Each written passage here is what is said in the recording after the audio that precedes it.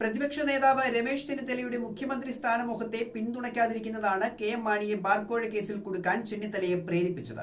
പാലാ രൂപതയുടെ മുഖപത്രത്തിൽ ചെന്നിത്തലയ്ക്കെതിരെ രൂക്ഷ വിമർശനവുമായി വന്ന ദീപനാളത്തിൽ കാവ്യനീതി എന്ന തലക്കെട്ടിൽ വന്ന ലേഖനമാണിത്.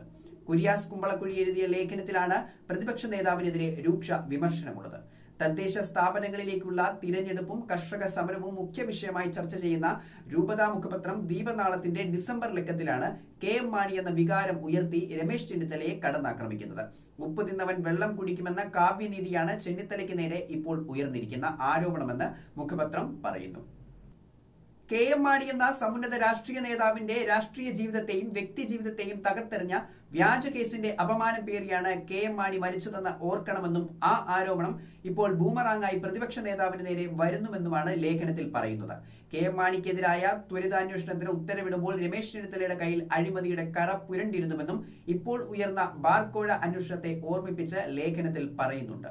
ഉമ്മൻചാണ്ടിയെ മാറ്റി തന്നെ മുഖ്യമന്ത്രിയാക്കണമെന്നാവശ്യപ്പെട്ട് ചിലരെ രമേശ് ചെന്നിത്തല കെ എം മാണിയുടെ അടുത്തേക്ക് അയച്ചെന്നും എന്നാൽ ഇക്കാര്യത്തിന് കൂട്ടുനിൽക്കില്ലെന്ന് കെ എം മാണി നിലപാടെടുത്തുവെന്നും ലേഖനത്തിലുണ്ട്.